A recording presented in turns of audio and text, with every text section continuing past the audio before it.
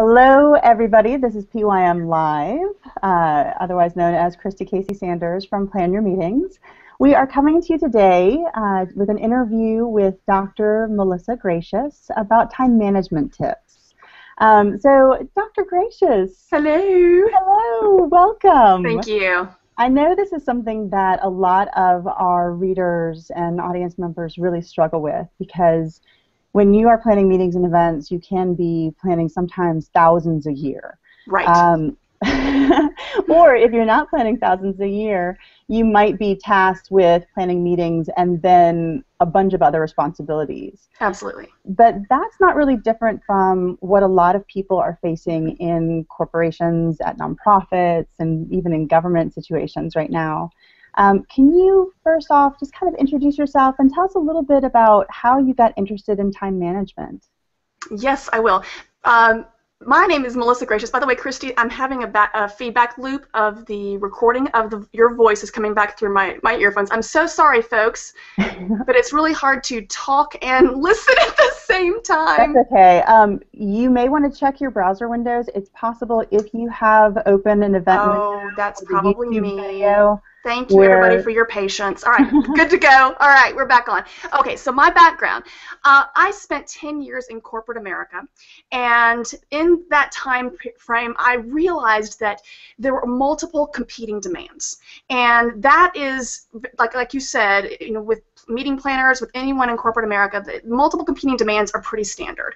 And by nature, by the way, I am I am a fly by the seat of my pants, um, take things spontaneously kind of person. That's that's my personality type. And that wasn't working for me it, from the time that I started my first job. I, I needed to be very organized, very methodical.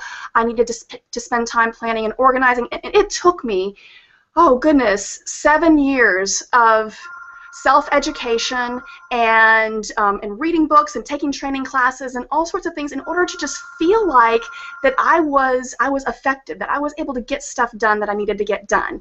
And you know, about six years ago when I was working, I realized it really shouldn't have to take people that long. It it shouldn't be that difficult. And and so as my my, my darling husband says, I I up and quit my job and I opened up my company, MBG Organizing Solutions, and I help my clients be more effective and productive at work by designing organizing systems that help them manage their time, manage their email, reduce their paper, and, um, and improve the balance between work and life. That's that's my my passion and my mission. So that's what I do. And I work one on one with clients. I do keynote speaking and breakout sessions and seminars. I do enterprise wide consulting. Um, I helped a large company reduce paper prior to a move a few years ago and and it's just a the whole mission and I hope that the the, the viewers today and those who see this, this broadcast afterwards will will buy into this. The whole mission is to help people on a day-to-day basis make good decisions and choices and keep things where they need to be kept so that they can find what they need to find when they need it and do what they need to do when it needs to be done. there you go. You know what's funny is I think there are a lot of people who weren't really raised with any kind of training on systems. I know that uh, until I moved into my first house with my um, husband, I it didn't occur to me to have a place where I put my keys in the same place every day. Right.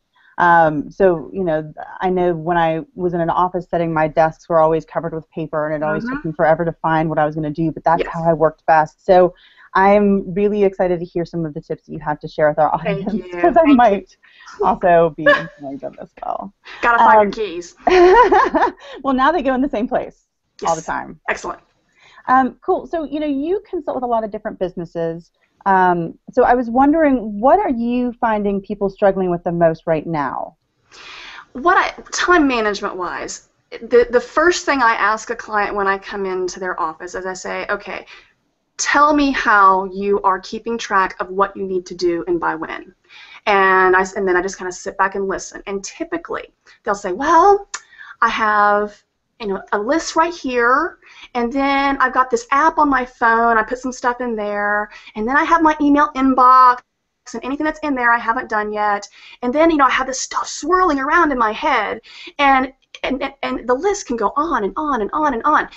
So the one thing I find people struggling with the most right now is, and they're bringing it on themselves, they're keeping too many lists. Some lists are man-made. You know, you, you sit down, you make a list. Some lists are naturally occurring, such as those that your email inbox is just a naturally occurring list of things to attend to. And and not consolidating all of those lists into one place to one location where they can effectively prioritize and juggle and weigh this versus that. Um, that's the main thing I see people struggling with right now. Additionally, people will sometimes keep multiple calendars. They'll have their personal calendar and their work calendar and their phone calendar and their wall calendar and their desk blotter and, all, and, and multiple calendars. Again, just keeping things in so many places. So the, the lack of consolidation, Christy, is the is one of the main things that I see people struggling with that and they may not even realize that it's causing them so much fracture in their focus and in their attention and so much extra work to maintain all of those different places. So then what would be some tools that people can employ to consolidate that information? Um, and I also, before you answer that, I've, I've forgot to welcome our virtual audience and to remind you guys if you want to ask questions, um, you, feel free to tweet at me at PYM Live, and that'll pop up on my phone immediately. Or uh, there should be a Q&A app um, that's available to you if you're viewing it from the Plan Your Meetings page. If you're viewing it from the actual event invite itself, you should be able to put a comment on that and have it pop up for me. Um, so sorry to interrupt you, Melissa. No, oh, I just wanted problem. to make sure that people knew that th- it wasn't just a one-way broadcast. That we Absolutely. actually are interested in in addressing your pain points, and you know, while we have Dr. Gratias's ear. So, um, so you were going to share with us some ways of consolidating these calendars right. and these lists so they're in one central location. Absolutely, which makes it a whole lot easier to go to one place rather than you know six. So, with uh, let's start with calendar. With a calendar, whenever you're working in an office with more than one person, ca- uh, calendars need to be in a format that is shareable. I, I'm, I, whatever, that's a word, I don't know. But um, in, in electronic calendars are really just a best practice right now. Now, it, it can be a, a shared Google Calendar. It can be, a you know, a, Outlook calendars are by default shared um, to with limited uh, details. Um, SharePoint calendars, in anything that can be very easily shared because one a, a main point of inefficiency when, when people are maintaining a paper calendar, for example, is that no one else can see that but you. So I do recommend that in order to avoid the, well, are you free on Thursday at 3? No, no, no. Well, okay, what about Friday at 9? Well, no, what about Monday at 2? So save yourself those inefficiencies and consolidate onto an electronic calendar and give other people access to the level of detail that, they are, that is warranted in your situation. So consolidate consolidate onto one calendar and ditch all the others. That's one of the hardest parts because I have people holding their Franklin planners to their chest and going, but I love it. And I, I, but I do recommend, especially for calendars, that you pick an electronic calendar that, that you can share with the people that um, need to be able to collaborate with you. So that's one thing. Now, to-do list, different animal altogether to-do lists are very individual. Some of my more my executive CEO level clients, we I, we, we form up to-do lists that are um, that the executive assistants have access to and can help them maintain. But in general, uh, you maintain a to-do list, one one to-do list that is in a format that you like. If you are um, an out, heavy Outlook user, there's a great uh, tool, Outlook Tasks, is in the lower left-hand corner of your screen is is just it's right there. It's handy. It it syncs well with most mobile devices. Sometimes there are hiccups with iPhone or Droid, and if you would like um, information on that that synchronization, just shoot me an email from my website, and I'll give that to you individually. But anyway, so Outlook Tasks right there for you. It's a great way to inventory all the things that you have on your plate. Conversely, you, a paper list, if you have a manageable volume of to-do items can also serve quite well, and there's nothing wrong with that. But again, if you're constantly having to search through your paper to-do list to find what you need to do, you may need to consider something different. Um, eh, but but also an Excel spreadsheet, you know, that's that's sortable and searchable, and and that can accommodate a lot of, of meetings and a lot of action items. And you can put dates in there and next steps, and really customize it to to your work. So that that that's a main benefit of something like Excel. So, but basically, with to-do list, choose a format that you that you're drawn to, that, that you think will work well for you. And if when and when it stops working well, when you find yourself not being as effective as you want to be, when you're losing track of things, that may be a time to reconsider it. But but you know, give a, a single unified to-do list a try, and give every to-do item a date on which you wish to make progress on it, because that is I mean Otherwise, it will sit there and just kind of go, hello, I'm a to-do, I live on your list, I've been here forever. But give every single item on your to-do list a date on which you wish to make progress. And, and, and that way you can quickly find the things to work on from what can sometimes be a very long list of items. Yeah, and I would just like to say, you know, collab. You mentioned collaboration and the importance mm-hmm. of having something that's shareable whenever mm-hmm. you're collaborating with teammates. Um, there are a lot of meeting professionals who are very tied to their Excel spreadsheets and they feel very guilty about using such an old-fangled thing. But I would, I know, but I would say that you know if that's the format in which you process information the best, mm-hmm. go ahead and use it and don't feel guilty about it. But just mm-hmm. know that the spreadsheet doesn't just have to live on your desktop. It can right. also be copied and pasted to something like Google Docs mm-hmm. um, which is now you know drive.google.com. But that's a place where you can share and collaborate on spreadsheets, where you mm-hmm. can share and collaborate on presentations, on Word documents. Um, and I know internally in our team, like I'll put survey data and information, you know, ROI on different programs that people are participating in, and then anyone can share it or comment on it or mm-hmm. use it. Um, I, am working with a large team of, of lawyers right now, and they collaborate with a spreadsheet. I mean, an Excel spreadsheet saved on a network drive at their firm, and that is how they keep track of every open case and what the next steps are and who's got what you know what action and what they're doing. And they have they have a meeting where they run the spreadsheet once a week and make sure that everything is progressing normally. It, it doesn't have to be high tech, but it does have to be used. What it's, it's not so much the methodology, it's not so much the car, it's the driver. You know, I mean, because you know, I, I, could have a Maserati and I would still drive at 35 miles an hour. But you know, I would. I'm just, but you know, choose a tool that you like and then that you can dedicate yourself to, and it's the use of it. It's it's going to it two to three times a day at least, and updating yourself and updating the list and keeping on track. Agreed. And uh, and I, I just wanted to also mention a tool you had mentioned uh, about having the shared calendars and people mm-hmm. being able to access that. If you want to schedule things like meetings or conference calls with people, um, but you don't necessarily, it's not people that you want to share your whole calendar and mm-hmm. life with, um, there is an online schedule tool called Doodle. I love Doodle. That is so fun. It's so easy. Yes, yes, yes. And so you can you can fill out a uh, do a Doodle and give options, and people just check which options work for them, and it's free, and they don't even have to register for anything. That's what I like the most about it because if you send something out that someone has to register for, they feel like they're going to get a whole bunch of spam, and so, and but you don't get that with Doodle. The other thing with Outlook 2010, if you or N13, it, there is an option to share a calendar.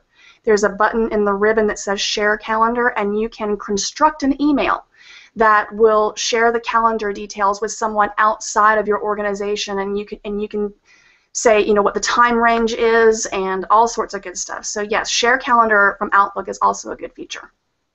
Um, so you had mentioned Outlook a few different times. Mm-hmm. Uh, I know that that is something that you kind of specialize in, and I know from mm-hmm. speaking with people informally at different events that a lot of our audience is using Outlook. Yes. Do you have um, tips that are, you know, Outlook specific or just email specific ways that people can kind of get control of all the stuff that just lands in their inbox? Sure, sure. And if it's okay, I'm going to share my screen with okay. our viewers. Uh, give me just a second. in the meantime, if any of you have uh, specific questions that you would like us to address, um, or if you have comments on things that we may have already shared, feel free to go ahead and uh, you can tweet at PYM Live. Um, you can leave comments on the YouTube video itself or on the event page from wherever you're watching. All right, are we ready? We are, yeah, I see your Okay. screen. Thank you. Hello, everybody. Okay, this is an Outlook inbox, and down here in the lower left-hand corner, you can see the Outlook taskbar. One of the best ways that I know of to simultaneously manage your email and your action items is to use Outlook's drag and drop functionality. Now, my September um, MBG organizing newsletter covered this in depth, so if you want to see screenshots and more details on this, please go to my website. In the lower right-hand corner, there are newsletter archives, and you can see um, I think the newsletter was called My Favorite Outlook Trick, and here it is. So let's say that I have this email that is an action item for me. I need to do something with this. Now you can't see what I'm doing with my mouse, but I'm going to click and hold the left mouse button. Click, drag, release. And I get an Outlook task. You can see that this is a task window up here. The subject of the task is the subject of my email, and I would change this to the, to the action that I need to perform. The due date, I would choose that as my progress date, not the deadline, because I don't want to be reminded on the deadline. I want to be reminded when I want to do it. So I want to call this person tomorrow. I get a reminder, save and close. And now on my task list, I have a task that tells me what I need to do tomorrow.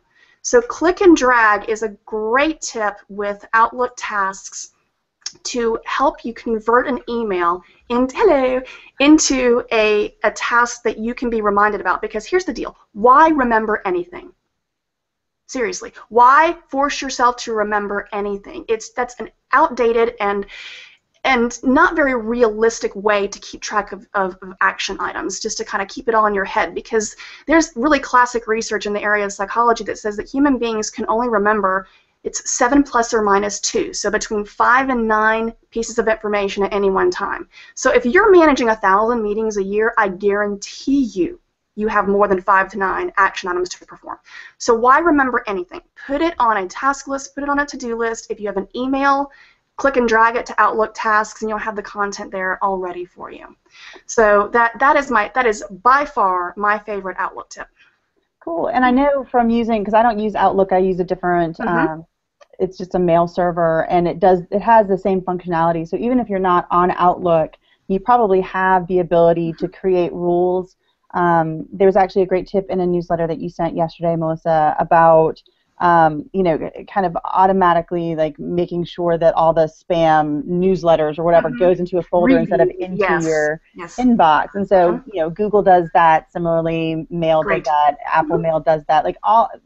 So I would, you know, if you feel overwhelmed by your email inbox, I would encourage you to just do a Google search for tutorials, and I'm sure you'll find a million videos and stories about these amazing functionalities that you didn't even realize Yes. your email was capable of that Absolutely. can get rid of the distractions and help keep you on track. Perfect. Um, Perfect. Can we talk a little bit about online project management tools and Sure. and strategies for you know keeping track of not only what you're doing, which you know you can do by email your checklist, but also what team members are doing and sharing Right. data like that. Right.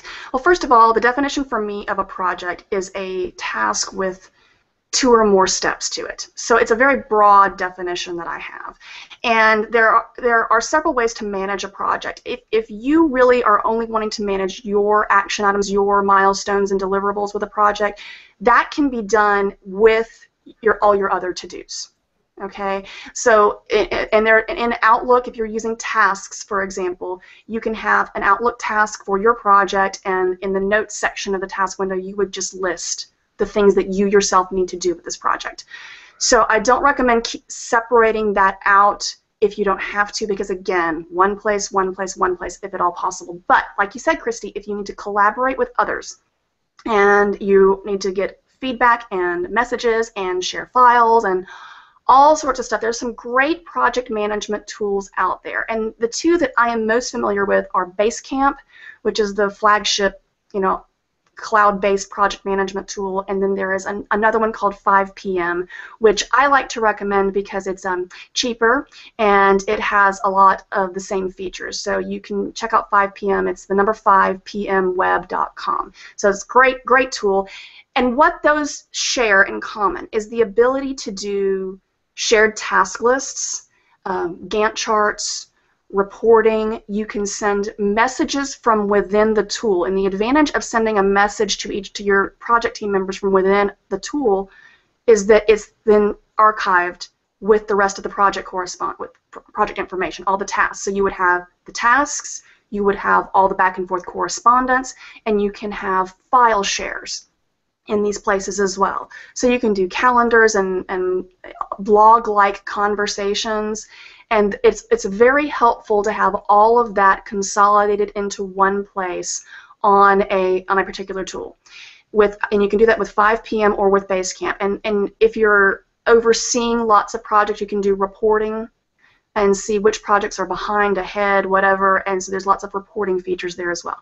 If you don't want to pay the monthly fee and the, the, the per seat licensing fees for these types of programs, there is a, a, a free version called Freedcamp. Um, that's all I know. There you go, Freedcamp, F-R-E-E-D-C-A-M-P. And my understanding from one of my clients is that it gives you the, the fun stuff of Basecamp, but it's free. So there you go.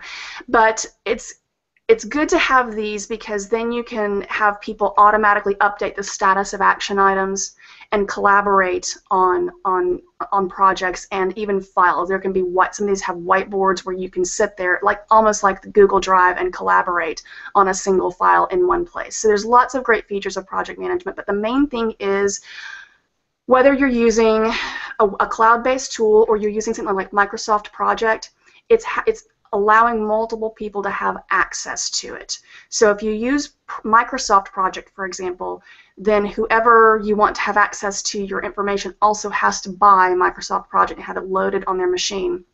And it has to be, you have to have a, a like a network drive where you can share files and PDFs and da da da da da. So um, pros and cons to every approach. There's no perfect solution, but that is, but those are some ideas for how to manage collaborative projects. Yeah, and you know, I think the problem with technology isn't that you can't find something to do what you want it to do. The problem is narrowing down your options when yes. the prices are so all over the place. The user experience is so different.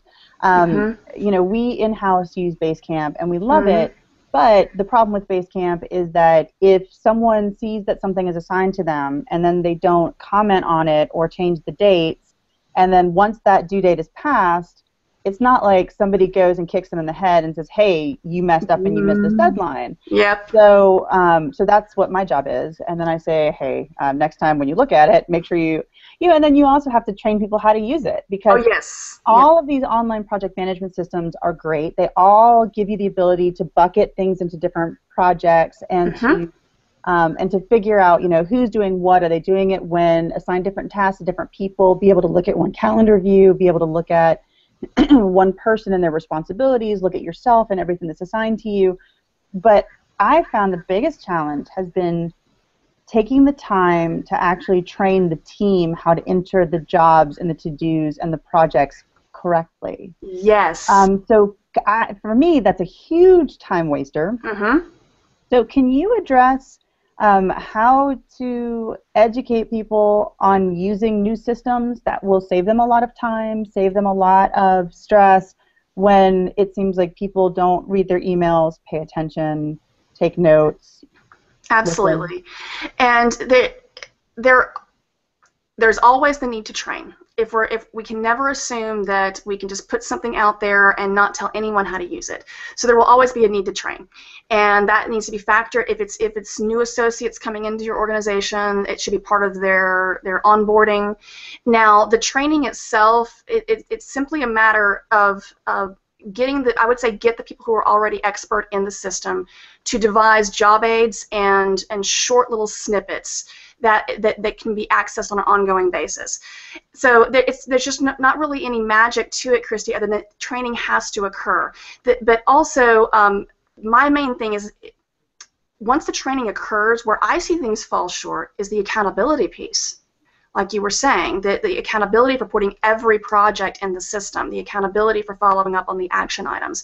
That's the piece that I see people struggle with the most. They have a great system for managing projects, but they don't have like you said, any accountability to to follow up on them. Now, the systems you can put in place where you don't have one person having to be watchdog and go around going, who did it, um, is to have regular project team meetings where the action items are always um, addressed, you know, from the last meeting, so that we they, there's like this um, mutual accountability approach where we get together and we talk about what's done, what's not done. A project can't run itself, and no system can run itself. Like I said, a car is only as good as its driver. So do pick a good system but make sure that you have the ability to train and it doesn't have to be a stand-up course necessarily although i have done those it can be a job aid it can be a 10 minute video that you used that you filmed and and used camtasia on it can be something that is, is you know just always accessible to the users of the system but training's got to happen but more importantly accountability for it has got to be followed up on yeah, and if you are managing a team and you need kind of a, a place to start in terms of figuring out how to organize them, there's a great book called The Five Dysfunctions of a Team by Patrick Lencioni. Mm-hmm. Um, and he, um, and exactly, the, the accountability is, is so huge and, and the trust. And I think another big time waster is people trying to micromanage people on their team and, and trying to, you know, they tell them what to do, but then they don't trust it's going to get done, or they decide, oh, you know what, somebody else should be doing this, but it'll take me longer to explain it to, then I'll, I'll just do it myself. And I think that's a huge. Oh, huge. Time waster too. So, mm-hmm. what would you recommend to those uh, control freaks out there? Mm. How, how I never work with control freaks. No, no I'm kidding. Um, control freaks who are who worry about trusting others the first thing I will say is we need to make sure that we have expectations clearly delineated for the entire team. It's, it's really beyond job descriptions. Most um, companies of any size that have ever hired someone have some sort of job description or at least the verbiage they posted on you know careerbuilder.com the last time they filled the position so they have some sort of job description if you don't that's a good that's a place to start but the expectations are a bit more specific for each job. And that's how teams can learn to collaborate and know whose sandbox is whose. I mean, whose accountability is whose. So you would you would develop a list of expectations underneath each um, major heading of a job description. Say, if this, then that. I call them if-then scenarios. Real creative, right? And so you have if this happens, then you do that. If that happens, then you do that. And if we can really understand amongst the team members what those if then scenarios are. Like if a project you know comes into your email then go into basecamp and launch a new project. You know if, an action item is is completed then go into basecamp and update the to do and mark it complete.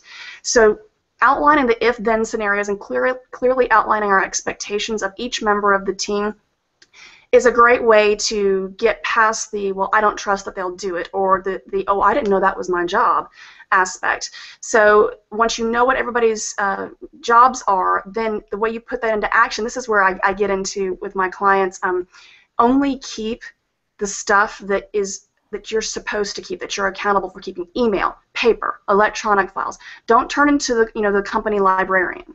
You know if if you don't if you're not the owner of a process, you need to count on the person who does own that process or project to keep the, the information on it. And then you go to them when you need it. But if, if we're all keeping duplicates of everybody else's stuff, then it makes it all too easy psychologically for us to get into their into their sandbox, into their area. So if I whether I actually let's say Christy, you and I are working together, whether I actually trust you or not, if I delete all of your project updates that you send me, then it forces me to view you as the owner of those project updates and to have to come to you for information when I need it. So I make my actions match what I should be thinking, and then it creates a little cognitive dissonance. I'm sorry, I'm a shrink. I can't help myself. And then, um, and then my my my be- beliefs tend to to follow suit. So keep what you're supposed to. Let the, the owners of the project and the processes keep what they're supposed to. And that way you can operationalize what you're trying to do anyway, which is respect other people's um, jobs and, and your expectations of them and stay out of it. So, what about the people who um, are working under the control freaks and the micromanagers mm-hmm. and you know they're concerned about project you know uh, project scope so you know this is my job this is what i'm Mhm. responsible for and whether it's oh you know there are a couple people on my team who aren't holding their weight or whether Mhm. it's this client now wants x y and z on top of what we've already negotiated um, do you have any tips for how to communicate and reinforce what those expectations are where the Mhm. job begins and ends without getting fired Absolutely. And the difference, Christy, between whining about your workload and making a business case for additional resources or redeployment. Okay, so we have on one hand whining, on the other hand a business case. The difference between those two is data, is information. Go into your boss's office saying, I'm so busy, I have so much work to do, and you will get nowhere go into your boss's office and say, I have um, six meetings on the calendar right now. This one that was originally supposed to be a local, you know, 30-person event has now turned into a three-person, 300-person global, uh, you know, exposition. Um, and and in the, giving your boss data, information on which to make decisions, and then asking the the wonderful question, what comes first? What are my priorities? But if you don't have that overall all list of your projects or priorities. If you don't if you're not keeping that if you're trying to keep it all in your head then you're going to go in there and complain about this amorphous busyness and workload and it net it won't go over well. So the difference between whining and making a business case is data. How do you get data?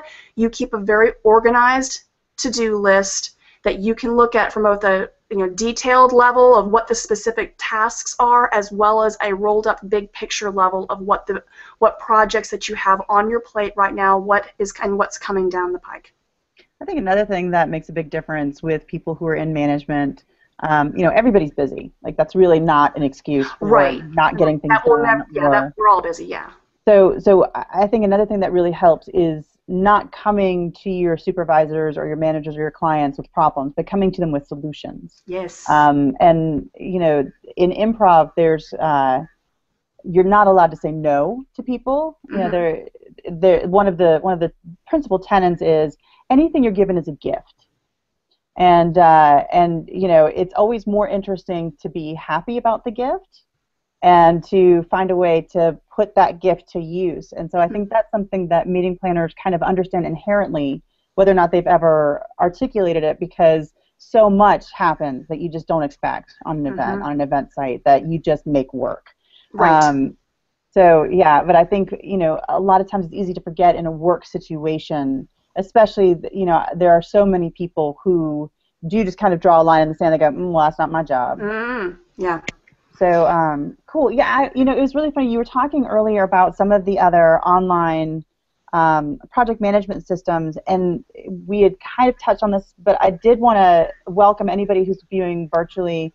If you have um, tips on time management, or if you have uh, you know, little email tricks you use to keep on schedule, or if there are online project management tools that that you love because I, I do think it's it's a very individual um, approach. It's whatever you know you kind of sync with and, and find useful and can use.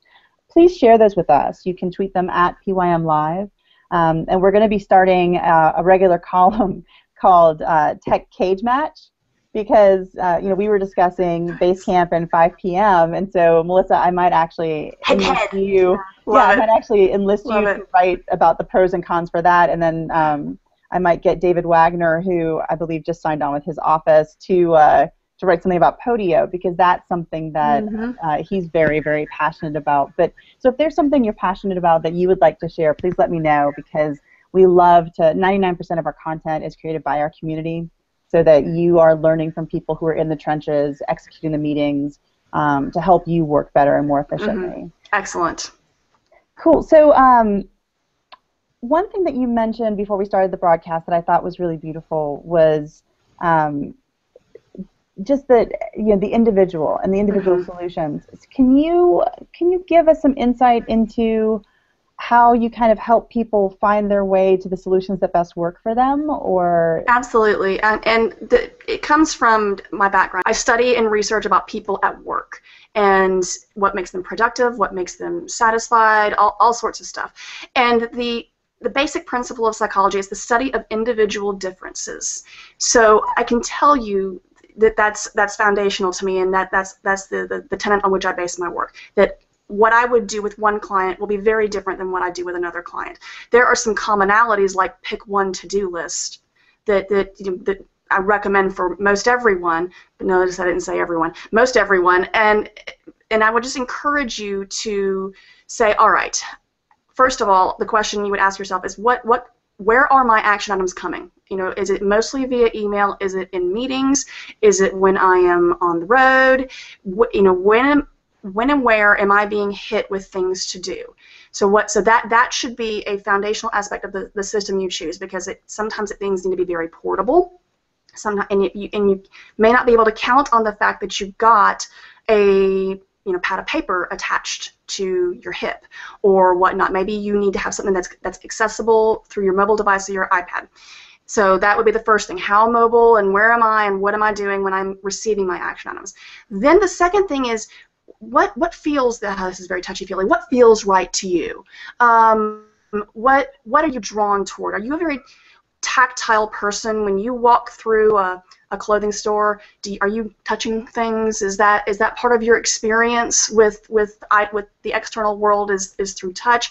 If so, then you might be one of those that finds the the apps and the online tools a bit cold. You may you may want a paper-based tool, and then you'll have to, to work work with that if, if it works in the first instance about portable and, and volume of items. But the main thing to keep in mind is that when you see, when you look at your neighbor, your very organized and effective neighbor, and you're like, oh, gee, I'd like to be like them. Um, it's, the, the kicker is not to necessarily think, what do they do? That what do they use? If they use you know Toodledo, or if they use Remember the Milk, maybe that's what I should use uh, not to try to mimic what you know, the, the exact tool that they're using, but rather ask them how they use it. What are they doing to be effective with it? And I think you'll find out you can morph almost any a uh, time management tool it is as high tech or low tech as is possible to to work for you and to as, as long as again you are attending to it on a very very regular basis because it's the car it's the driver not the car so, yeah, so, so don't feel like you have to be high tech and don't feel like you're behind the times or old fashioned or whatever it is if you choose a low tech time management tool. It's it, the most important thing is how you use it. So you had mentioned that that central to what your area of study was is figuring out what makes people more productive at work and makes mm-hmm. them more satisfied at work. Can you talk to us a little bit about what those are and how people can be more productive and happier? Absolutely. Um, one thing that is a big pain point, I'll start with the converse. One thing that's a big pain point for my clients is the seemingly never ending incoming volume of email. And the the feeling of, of needing to be constantly and and immediately responsive to every incoming message. And that is a that is a mindset that will lead to a lot of dissatisfaction at work because when you when you feel like I've got to when I've got to listen to every little bleep and bling and window that pops up and and immediately respond, then you are constantly firefighting. You are constantly being interrupted, and every time you're interrupted in the course of performing a task, it will take you you know, anywhere between 5 and 25 minutes to get back to that task if you ever do at all. So if you are feeling like you're jumping around from thing to thing to thing to thing to thing and you're never getting anything done, that can be a major stressor and cause of job dissatisfaction. So the first recommendation I would make would be to turn off all those alerts of incoming mail on your laptops, on your you know desktops, on your phones, on your iPads. I had a um a client office that they had no less than seven alerts going on in the office before every meeting. And it was like, you know, a, a parade. Everybody, let's get ready for this meeting. And let, so I would encourage you to um, turn off the alerts of incoming mail. Particularly in making sure that you are going in and processing your email on a regular basis you you determine how often that needs to be. Some of my clients say three to four times a day is more than sufficient.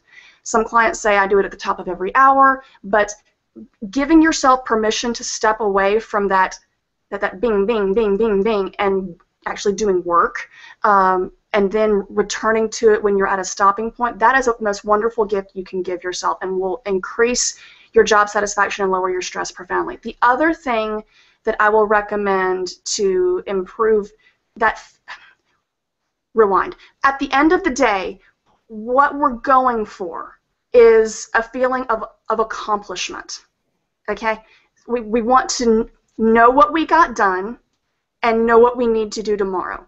Really, that that's about as straightforward as I can make it you're never going to get everything done in a single day. Okay, we that's that's called job security, and and so so we can't. I would, I would encourage you to alter the expectation that you are going to mark everything off of your to-do list every day, because a full 80% of those items either happen again, or you have to follow up on, or you just didn't get to. So in terms of mark it off, it's done, yeehaw, that's about 20% of your daily task list, okay, just to set your expectations. But that's the key, is knowing what you got done, that little 20%, and knowing what you need to do the next day. There is a tremendous sense of peace in that when you're not forcing yourself to remember things and to to, to dig for the action items. Oh, where was I? What was I supposed to be doing? You will give yourself some, a tremendous gift by simply downloading your brain. Da- David Allen, the GTD founder, talks about mind like water. And it, it's basically downloading everything that you're trying to swirl around in your brain onto a list. Um, I was working with a, a professor at a local college a couple of months ago, and I said, okay, we're going to sit here and we're going to make a list of all the things that you're trying to remember. I've never seen anyone make a list this long, but at 73 items, he stopped. This was just what was swirling around in his head, and he looked at me. He goes, I have not felt this good in over a year. And I said, "You think?" I mean, so so don't force yourself to be to to be um, a, a to-do list. Have have a brain-based to-do list. So you, you know, release your your the grip email has on you.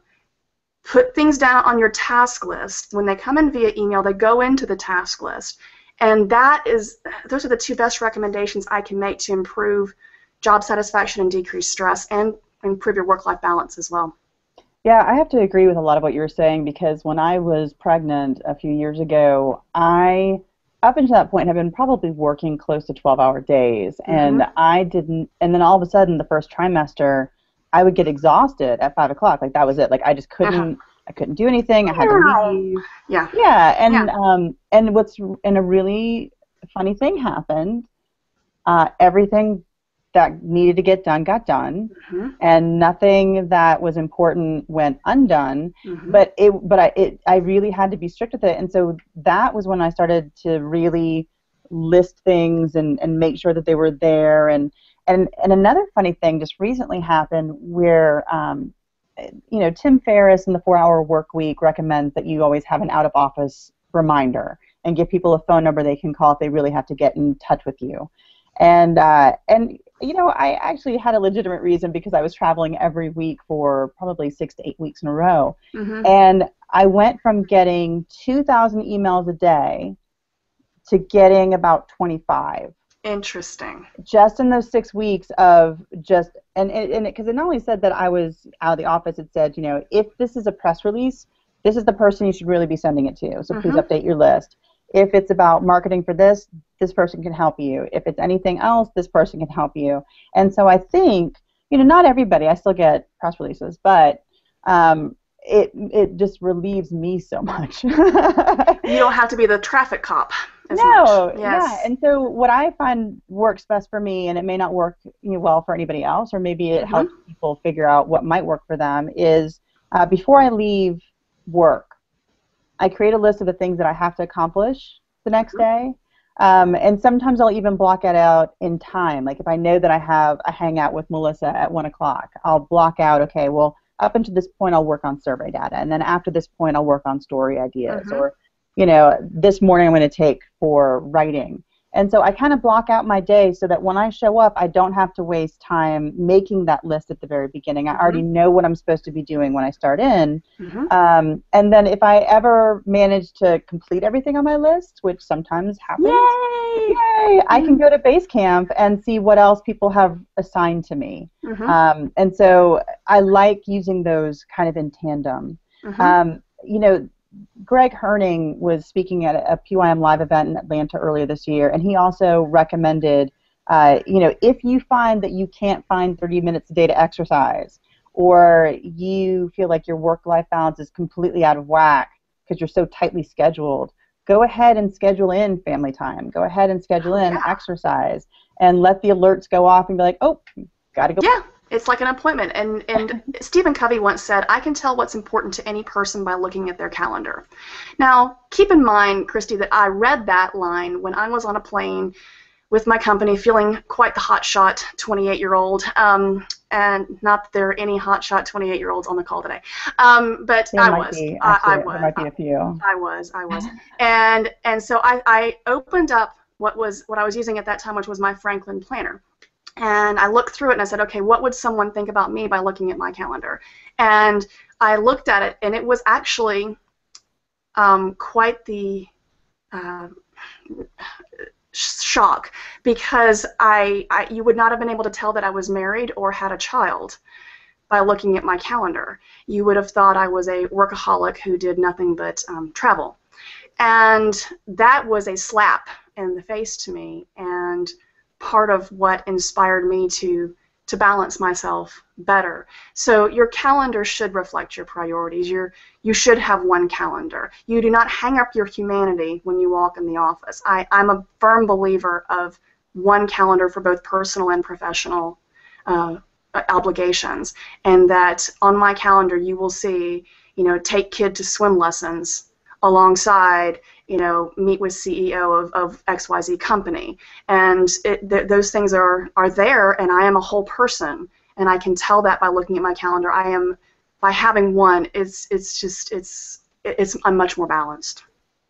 I love what you said. You don't have to hang up your humanity when you walk into the office.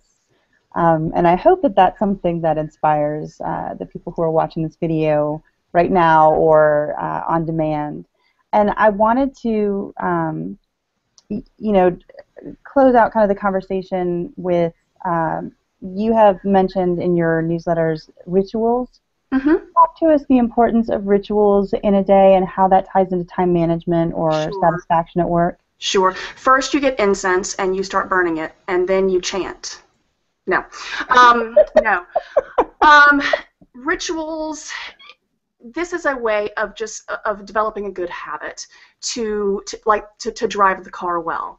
And, and, and there are two particular rituals that I recommend. They are not on your calendar. I recommend you put them on your calendar. The first is your opening ritual.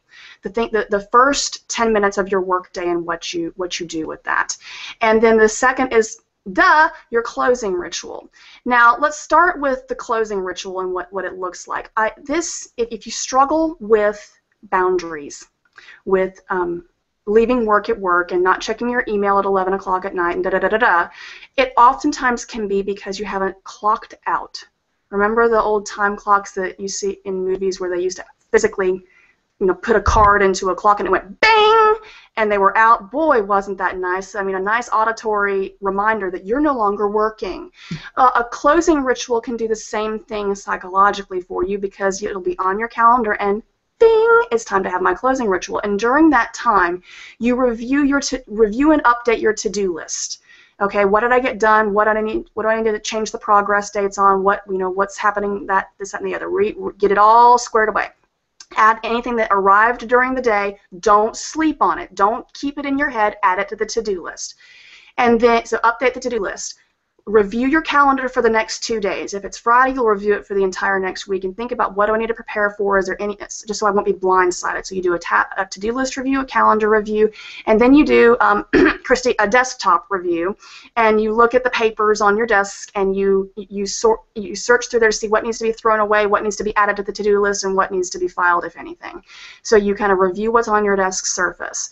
Additionally, I mean, you can add anything in there that you want to, such as an email inbox review. Some of my clients very successfully achieve inbox zero at the end of every day by during their their their closing ritual, going ahead and doing the FAT approach, file action toss, file action toss, with everything in, yeah, it's good fat, yay, um, in their email. File it, drag it to tasks if it's an action item, or toss, which is the delete. Uh, so they, they, do that during their closing ritual, but they're not answering emails. They're not getting that last little bit of work done. Work's done. You're, you're, you're doing your closing ritual. So that's that. Then the opening ritual can often be um, singular, where you are just kind of saying, all right, what's on the, the menu for today, and just making sure nothing has changed overnight if you're in that type of industry. But some of my, my leaders will have morning meetings with their executive assistants during that opening ritual, say, what have you got for me? You got anything for me to sign? Got anything for me to do? Some of my um, my leaders will do um, very quick, you know, five to ten minute team huddles, you know, just to touch base with everybody. That's called interruption prevention, by the way. If you go ahead and give them that time, they're less likely to interrupt you later on. So the, the opening ritual can be either individual, looking at what you got on, on the, the list for today, or spending a little bit of time with your with those with whom you work. And ritual just means you do it regularly. Now, did I say perfectly and every day? No. I said regularly. So you, you may consider it a success if you do, if you do your closing ritual three times a week, you know, because that's all you're in the office. I mean, but don't strive for perfection and then abandon all hope if you don't achieve it. So just just get get in there, get it done as much as you can, and forgive yourself when you don't. Forgiving yourself is very very important yes, because we are all our own worst critics. Yes. Yeah, absolutely. Um, well, I love the idea of the the fat email mm-hmm. because I am guilty of having 3,000 emails in my inbox at all times because I answer what's important maybe once or twice a day and then I ignore everything else. Yes, as um, one of the, the founders of my field says, uh, clutter is delayed decisions. clutter is delayed decisions, and you and you haven't FAT'd your inbox. So you ha- you only have three decisions to make there, Christy: file, action, or toss. So don't delay it because you'll just force yourself to have to come back to it again and again and again. Yeah, so I, I've managed to get to inbox zero probably about five times this year. Yay! And the out of office memo has helped me narrow down the amount of demand. So I'm very excited to add the fat to my list too. Excellent. Um, well, thank you very much for joining us today. I really thank appreciate you. it. I know um, there's kind of been some staggered viewing of this mm-hmm. video, so uh, if you have questions, even after we sign off, um, go ahead and, and tweet them out to at PYM Live. Go mm-hmm. ahead and make comments on the video or on the event page, and we'll get back to you. Um, and Melissa, will you share with us how people can get in touch with you or find more time management tips? Absolutely. Um, please go to my website. It's listed right below my, my head right here. And, and in the lower right-hand corner of the screen, it says join our newsletter. And give me your name and your email address, and you'll hear from me once a month, the last Tuesday of every month. And I write an article on a time management, email management, paper management topic that I'm inspired about for, for the month. And this past month that you received uh, yesterday, Christy, was about was contain Outlook tips. And I'm continuing along that that line. In uh, next month's issue will also be will conclude my Outlook tips, and then I'll, I'll progress on. But you'll get time management tips, and and it's a great way to just continue to remind yourself that these things are important. That it is important to to take time to plan and organize. It, it will help you achieve good results. And I also please feel free to follow me on Twitter at Melissa Gratias, and I'm also on Facebook and LinkedIn and all those other places as well. So I'd love to connect with uh, the viewers today in those ways. But definitely go to my website and sign up for my newsletter if you like what you heard today. So thank you so much. No problem. And there are definitely are some people who enjoyed what you had to say. I know Banner the Planner said, uh, "Gracias, Dr. Gratias." You're welcome. And uh, Lori Lorelei Events was very excited about the "It's not the car, it's the driver." Yes. That you gave her, and. Awesome uh, yeah, so thank you so much. Um, Appreciate it. Thank you for joining us, and thank you, virtual audience, for tuning in and deciding that we were worth 54 minutes of your time. Uh, plan well and prosper, friends, and I'll see you on the flip side.